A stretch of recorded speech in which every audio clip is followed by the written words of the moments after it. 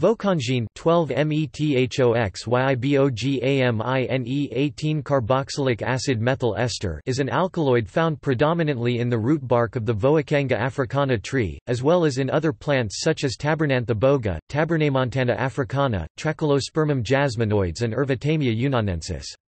It is an iboga alkaloid which commonly serves as a precursor for the semi-synthesis of ibogaine. It has also been demonstrated in animals to have similar anti-addictive properties to ibogaine itself.